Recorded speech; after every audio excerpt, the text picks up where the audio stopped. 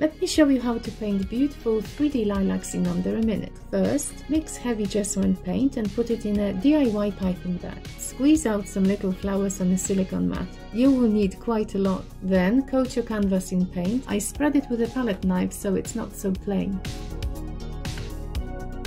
I add texture by pressing cardboard and netting against the canvas.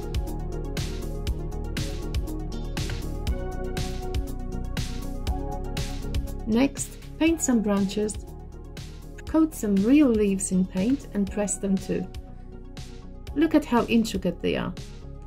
Finally, glue down your lilac flowers. They peel off the mat so easily. Check out the full tutorial on my channel and linked in the comments. Thank you so much for watching!